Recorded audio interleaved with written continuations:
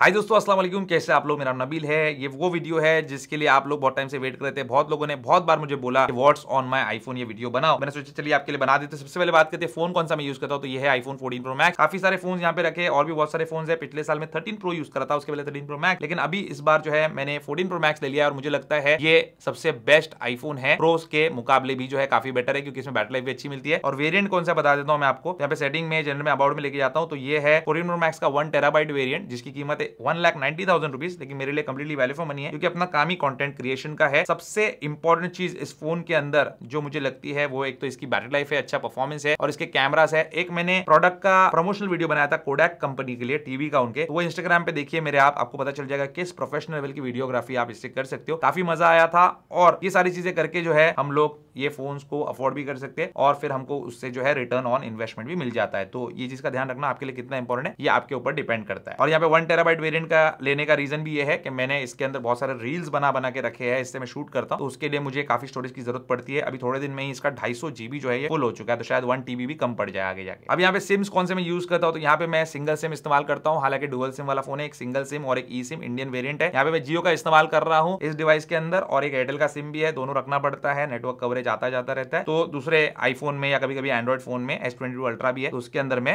Airtel का SIM use करता हूँ। सबसे पहले बात करते हैं लॉक स्क्रीन और विजिट्स के बारे में। लॉक स्क्रीन पे आप देखेंगे तो मैं यहाँ पे जो एप्पल का स्टॉक वॉलपेपर है, वो इस्तेमाल करता हूँ। अगर कस्टमाइज में जाऊँ, यहाँ पे मल्टीपल वॉलपेपर्स है स्पेस ब्लैक है और सिल्वर है गोल्ड है डीप पर्पल है। मैं डीप पर्पल का इस्तेमाल करता हूँ। विजिट्स भी मैंने मिनिमम यहाँ पे लगा के रखे है। जिसमें मेरा वॉच का विज़िट है, जो उसकी बैटरी बताता है वॉच एयरपोर्ट सब। उसके एक्टिविटी वाले फीचर्स है, जो यहाँ पे दिन में कितना वॉक करे वगैरह और लोकल वेदर दिखाता है। बाकी डेट और टाइम यहाँ पे आपको देखने मिलता है। बहुत ही मिनिमम मैंने यहाँ पे रखा है चीज़ें। और लॉक स्क्रीन वॉलपेपर्स में आप एक चीज़ कर सकते हो कि यहाँ पे फोकस मोड सेट कर सकते हो। जैसे यहाँ पे इस वॉलपेपर में जाऊँगा तो ऑटोमेटिकली जो है do not disturb mode activate हो जाएगा। हालाँकि मैं इस फीचर का इस्तेमाल नहीं करता, लेकिन आपको बता रहा हूँ कि फोकस पे टैप कर दो और यहाँ पे जो भी फोकस को लिंक करना है आपको इस वॉलपेपर से आप कर सकते हो। और फिर जब भी आप ये वॉलपेपर सेट करोगे, वो फोकस मोड एक्टिवेट हो जाएगा। हालाँकि मैं यहाँ पे अभी फ़िलहाल जो फोकस मोड यूज़ कर रहा हूँ that is video recording focus mode अभी फोकस मोड क्या है, आगे आपको बताऊँगा कौन से आपको यूज़ करने चाहिए, कौन से बनाने चाहिए, लेकिन अभी जाते हैं नेक्स्ट पॉइंट पे। अगला पॉइंट है क्या मैं कोई विजिट्स इस्तेमाल करता हूँ? Except for this lock screen widgets तो नहीं, मैं कोई भी विज़िट इस्तेमाल नहीं करता। मुझे वो वेस्ट ऑफ़ टाइम लगता है। बस यहाँ पे दो विजिट्स आपको नज़र आएँगे। एक है ये हेडलाइंस वाला विज़िट जो कि लेटेस्ट और आज की न्यूज़ बताते रहता है। और दूसरा ये विज़िट है, जहाँ पे बैटरी परसेंटेज मेरे अलग अलग गैजेट्स का, जैसे एयरपोर्ट्स है एयरपोर्ट्स का केस है एप्पल वॉच है और आईफोन है, इनकी बैटरी यहाँ पे दिखाता है। हालाँकि मैं इसको ज़्यादा रेफर नहीं करता, ये इस साइड पे इसलिए मैंने रखा हुआ है, कभी मुझे ज़रूरत लगी तो मैं यहाँ पे देख लेता हूँ अदरवाइज़ मैं इसके पीछे ज़्यादा पड़ता नहीं हूँ। बैटरी कम हो गई चार्ज कर दो, बाकी खत्म बात, दिमाग को टेंशन नहीं देने का। ऑलवेज ऑन डिस्प्ले की बात करते क्योंकि फोर्टीन प्रो मैक्स है तो ऑलवेज ऑन डिस्प्ले के लिए मैं यहाँ पे ये वाली सेटिंग इस्तेमाल करता हूँ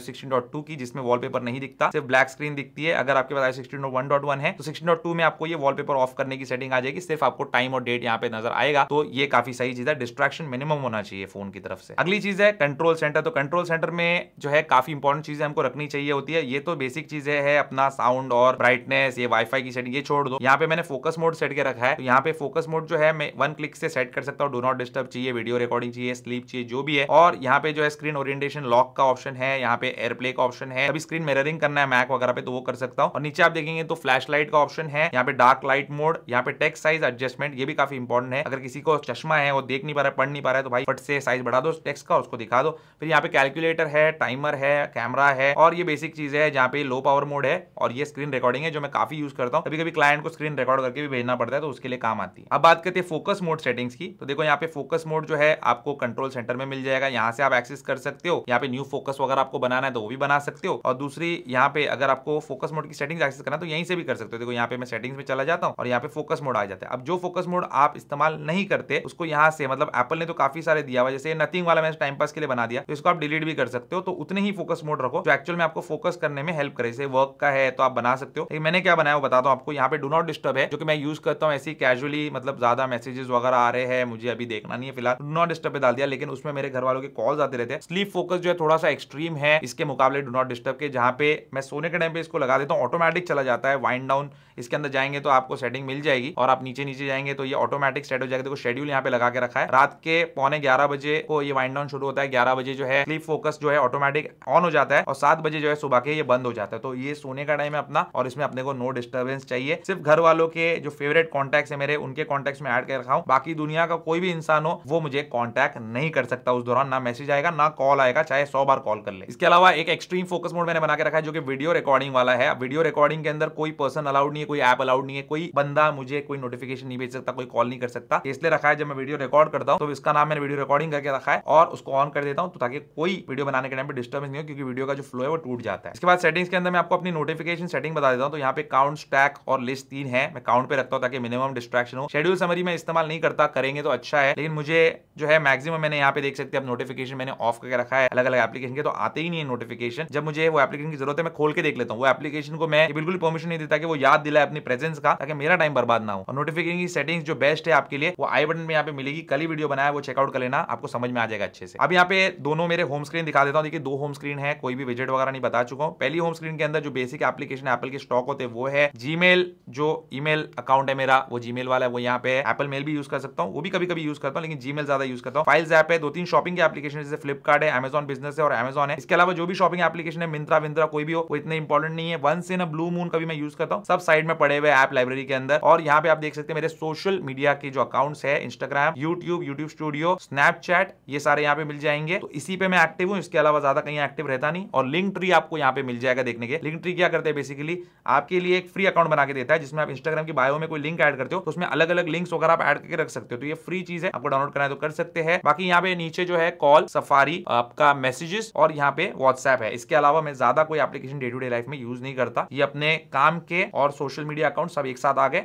और सेकंड पेज अगर आप देखेंगे तो यहाँ पे मुझे मेरे फाइनेंस के एप्लीकेशन है, जहाँ पे टिकर टेप है स्टॉक एनालिसिस के लिए मनी कंट्रोल भी उसी के लिए है काइट ज़ीरो है स्टॉक इन्वेस्टमेंट के लिए, और ये कॉइन डीसीएक्स है, जो कि मैं देखता नहीं भाई क्रिप्टो तो अभी डूब चुका है, आपको मालूम है तो दुख होता है वो देखकर। और यहाँ पे जो है गूगल पे आपको मिल जाएगा, जो डेली यूज़ करता हूँ एच डी बैंक का ही एप्लीकेशन रखा है। बहुत सारे बैंक के एप्लीकेशन है, लेकिन यूज़ जो अपने को रेगुलर करना है, जिसमें अपने पेमेंट्स वगैरह आते हैं एच तो एचडीएफसी ही सामने रखता हूँ। बाकी अपने को देखना नहीं है कि बैलेंस कितना घटा बढ़ा, उसकी चिंता में रहना नहीं तो ये थे सारे एप्लीकेशन अब यहाँ पे आ गई ऐप लाइब्रेरी ऐप लाइब्रेरी क्या है? बहुत सही चीज़ है। इसमें सारे एप्लीकेशन पड़े होते हैं। जो भी एप्लीकेशन आपको यूज़ करना है, यहाँ पे जाके सर्च कर लो। या सिंपली जो है ये स्पॉटलाइट सर्च होती है तो यहाँ पे आप देखेंगे सर्च करके लिखा रहा है। इस पे टैप करो या फिर ऐसे स्वाइप डाउन करो। तो जो भी एप्लीकेशन यहाँ पे नहीं है और कभी कभी आपको यूज़ करना है, वो यहाँ से सर्च करके आप यूज़ कर लो ओपन कर लो तो वो सही रहता है एकदम। अब इसके अलावा मैं वीडियो एडिटिंग वगैरह करने के लिए जो एप्लीकेशन यूज़ करता हूँ, वो बताने के पहले जो केसेस और स्क्रीन गार्ड मैंने एक डेढ़ महीने से यूज़ किया काफ़ी अच्छी क्वालिटी के हाई क्वालिटी के, वो मैं आपको बताना चाहता हूँ बैंक्स के। वो पहले देख लीजिए, उसके बाद आगे कंटिन्यू करेंगे हम लोग। तो ये वो केसेस है जिनके बारे में बताना चाहता हूँ। ये बैंक्स कंपनी केसेस है, ये बैंक्स कंपनी वो है जिन्होंने ये डमी मॉडल आईफोन 14 प्रो का हमको भेजा था, आपने इसका वीडियो भी देखा था। तो इसके अंदर जो ये केसेस है, इसके बारे में बता देता हूँ। बहुत ही ज़बरदस्त क्वालिटी के मुझे केसेस लगे। एक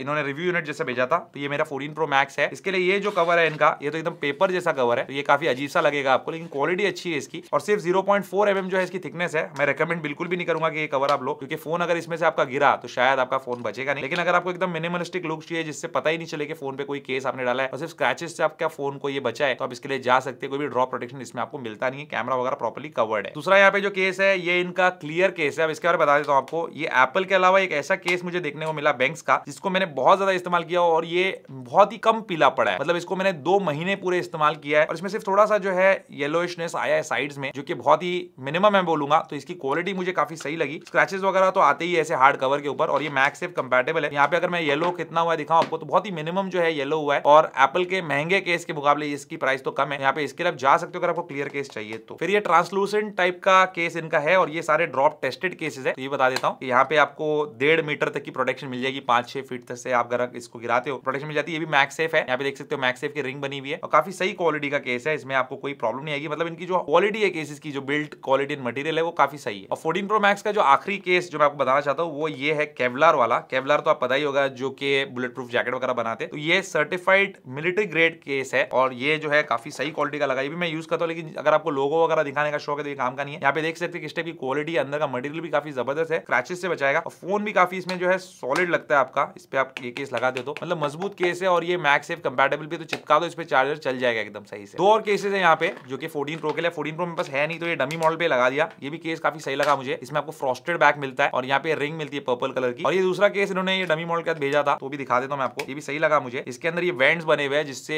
हीट डिसिपेशन होगा और आपका फ़ोन जो है उतना ज़्यादा कोई गर्म नहीं होगा। ये भी सही केस है, लेकिन ऊपर नीचे से ऐसा खुला रहता है। अगर आप फ़ोन को बचा सकते हो ड्रॉप से तो ये केस भी सही रहते हैं। फिर इनका ये ग्लास वॉरियर स्क्रीन प्रोटेक्टर आता है, जो कि बहुत ही हाई क्वालिटी का है, उसको लगा के भी दिखाता हूँ कितना ईजी है लगाना। तो इसमें ये इंस्टॉलेशन किट आपको देखने मिलेगा। सबसे पहले इसमें दिए गए वाइप से अपने फ़ोन को अच्छे से आपको क्लीन कर लेना है। एक इतना बड़ा एंटी डस्ट स्टिकर मिलता है, जिससे आप अपने डिस्प्ले को इस तरीके से साफ़ कर लीजिए। कुछ भी डस्ट या ग्राइम इस पे नहीं होना चाहिए। फिर स्क्रीन प्रोटेक्टर जो है, अपने फ़ोन पे अलाइन कर लीजिए। और अलाइन करने के बाद अपने फ़ोन को यहाँ पे पकड़ के इसको आपको पुल कर देना है। ये प्रेस लिखा है, इसको पाँच सेकंड तक होल्ड करके रखिए। और इस तरीके से हो गया अपना स्क्रीन प्रोटेक्टर इंस्टॉल वो भी एकदम system H two H bubble free application के साथ। इसके बाद इनका ये लेंस प्रोटेक्टर भी आता है, जो कैमरा लेंस के पीछे जो है अटैच हो जाता है, वो भी काफ़ी इजी टू यूज़ है। आप चाहे तो वो भी परचेज कर सकते हैं। सभी चीज़ों का लिंक डिस्क्रिप्शन में मिल जाएगा। अब यहाँ पे एप्स फॉर वीडियो एडिटिंग भाई वीडियो एडिटिंग के लिए आई मूवी भी आता है, आपको लुमा फ्यूजन भी आता है काइन मास्टर भी आता है।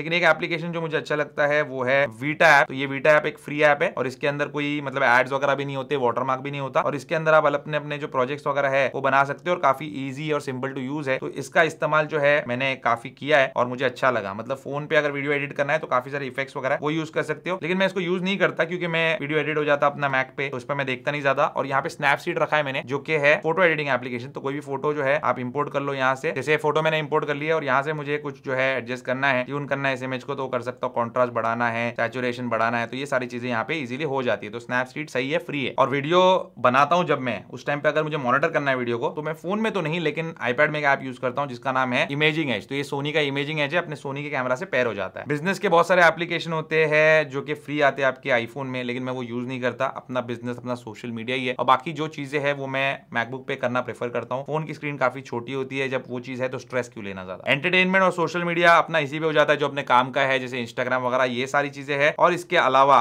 मैं जो वीडियो सर्विसेज़ है, कभी मेरा दिल किया तो ये अमेजोन प्राइम वीडियो वगैरह थोड़ा बहुत कभी देख लिया तो देख लिया अदरवाइज़ अभी तो कुछ खास उस पर है नहीं। तो बस मैं इससे ज़्यादा कुछ यूज़ करता नहीं। बात करें गेम्स की तो यहाँ पे गेम्स में दो चीज़ रखी हुई है, एक बीजीएमआई है, जो मैं नहीं खेलता हूँ, और गन्स ऑफ़ वू में जो टाइम पास के लिए कभी खेल लिया तो खेलता हूँ, क्योंकि इतना टाइम मिलता नहीं। कभी दिल किया भाई, थोड़ी बहुत गोली वोली चलाई जाए तो गन्स ऑफ़ वूम खेल लेता हूँ, ये वन ट्वेंटी सपोर्ट करता है इसलिए। रीडिंग एप्लीकेशन मेरे फ़ोन में कोई नहीं है, मैं रीडिंग करना पसंद नहीं करता हूँ, मैं वीडियो वॉचिंग पसंद करता हूँ, या चलो कुछ सुनना है तो सुन लिया, लेकिन रीडिंग करने का अपने में पेशेंस नहीं हेल्थ एंड फिटनेस के लिए मैं एप्पल हेल्थ और एप्पल का ये जो फिटनेस ऐप है, इसका इस्तेमाल करता हूँ तो ये मेरा मूव गोल क्या है, क्या नहीं है, कितना किलोमीटर चला, नहीं चला, ये सारी चीज़ें बताते रहता है। और एप्पल हेल्थ भी जो है, ये भी मुझे काफ़ी सही चीज़ लगती है, इसमें मेरे स्टेप्स और साउंड लेवल ये सारी चीज़ें मुझे देखने मिल जाती है। तो इसके अलावा मैं कोई भी थर्ड पार्टी ऐप इस्तेमाल नहीं करता हूँ। और जो एप्स मुझे रेगुलर लगने वाले नहीं, लेकिन मुझे एप्स रखने हैं तो मैं उनको ऑफलोड करके रखता हूँ, ताकि फ़ोन का डेटा ना खाए, जैसे बुकिंग डॉट कॉम यहाँ पे देख सकते हैं। सिमिलरली डाइन आउट करके है, ये फेम बिट है, ये सबके आगे ये एरो दिखा हुआ है, यानी कि जब भी मैं क्लिक करूँ तो सारे डेटा के साथ वो ऐप जो है डाउनलोड हो जाएगा, बस उसका डॉक्यूमेंट डेटा मेरे फ़ोन में सेव रहता है। ये सेटिंग्स आईफोन स्टोरेज में जाके आप ऑफलोड कर सकते हैं एप्लीकेशन जो आपके लिए इतने इंपॉर्टेंट नहीं है, लेकिन फ्यूचर में कभी काम आ सकते हैं, उनको ऑफलोड करके रख सकते हैं रही बात आईक्लाउड सब्सक्रिप्शन क्या मैंने लेके रखा है? फ्री आईक्लाउड स्टोरेज पाँच जीबी का होता है, ऊपर से आप गूगल ड्राइव भी रख सकते हो गूगल फ़ोटोज़ का इस्तेमाल कर सकते हो आईफोन में। लेकिन यहाँ पे मैं जो आईक्लाउड लिया है, मैंने वो पचास जीबी का जो है लेके रखा है seventy five rupees per month का। इसमें मुझे जो है काफ़ी सारी चीज़ें मिल जाती है। एक तो एक्स्ट्रा स्टोरेज मिल जाता है, जिससे मैं बैकअप कर सकूँ, और उसी के साथ प्राइवेट रिले मिलता है, जिससे मेरा आईपी एड्रेस हाइड हो जाता है और हाइड माई ईमेल का ऑप्शन भी मिल जाता है। अपना ईमेल हाइड कर सकता हूँ, इससे स्पैम कंट्रोल कर सकता हूँ मैं तो ये भी चीज़ मैं यूज़ करता हूँ। और प्राइवेसी सेटिंग्स या फिर सेफ्टी सेटिंग्स मैंने काफ़ी सारे वीडियोज़ बनाए वो चेक कर सकते हैं आप। लोकेशन की सेटिंग्स, वो तो सब मैंने वीडियोस में बना के रखा है। वो सब आप चेकआउट कर सकते हैं, उसमें आपको समझ में आ जाएगा। और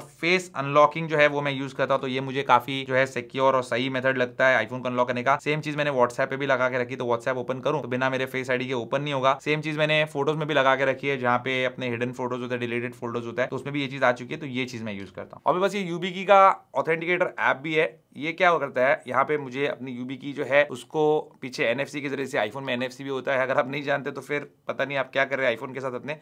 लेकिन यहाँ पे मैं, देखिए, इसको स्कैन कर लेता हूँ। स्कैन करने के बाद यहाँ पे जितने भी मेरे सोशल मीडिया अकाउंट्स है, जो भी मेरे इंपॉर्टेंट अकाउंट्स है, उनका यहाँ पे मुझे टू फैक्टर ऑथेंटिकेशन का एक थर्टी सेकंड्स के लिए वन टाइम पासवर्ड मिलता है, जिसको मैं एंटर करके फिर लॉग इन कर सकता हूँ। जब तक ये चाबी किसी के पास नहीं है, वो मेरा जो है, कुछ नहीं बिगाड़ सकता मतलब मेरे सोशल अकाउंट्स का, जिसमें हैक होने के बहुत ज़्यादा चांसेस होते हैं। तो ये था दोस्तों व्हाट्सऑन में आईफोन आईफोन के अलावा मैं क्या क्या प्रोडक्ट्स यूज़ करता हूँ एप्पल इको का तो मैं आईपैड यूज़ करता हूँ। बहुत सारे अलग अलग आईपैड है, कभी ये आईपैड कभी वो आईपैड यूज़ करने का मुझे मौका मिलता है। प्रिविलेज एक अपने पास है तो अपन यूज़ करते हैं। फ़िलहाल मैं आईपैड टेन जनरेशन जो प्रेफर कर रहा हूँ तो ये वो आईपैड टेन जनरेशन है। आईपैड प्रो भी है एयर भी है एम वाला है, लेकिन मैं ये यूज़ कर रहा हूँ फ़िलहाल, क्योंकि ये कीबोर्ड जो है मैंने इसके साथ लिया हुआ है, जो कि काफ़ी सही लगता है मुझे टाइपिंग वगैरह करने के लिए नोट्स बनाने के लिए। एयरपोर्ट में अभी मैं फ़िलहाल यूज़ कर रहा हूँ एयरपोर्ट्स प्रो सेकंड जनरेशन जो कि मुझे अभी काफ़ी सही प्रोडक्ट लग रहा है इनका। और वॉच में मैं इस्तेमाल कर रहा हूँ एप्पल वॉच अल्ट्रा और मैकबुक मेरे पास है मैकबुक प्रो सोलह इंच वाला, जो कि MacBook pro M one pro वाला मॉडल है सिक्सटीन जीबी रैम वाला। इसके अलावा ये बाकी सारे आईफोन का भी मैं इस्तेमाल करता हूँ वीडियो रिकॉर्डिंग के लिए, लेकिन ये था बेसिकली मेरा वॉच ऑन माई आईफोन उम्मीद करता दोस्तों, आपको आज का वीडियो पसंद आएगा, उसको लाइक एंड शेयर ज़रूर कीजिए मेरे चैनल को सब्सक्राइब कीजिए। Good bye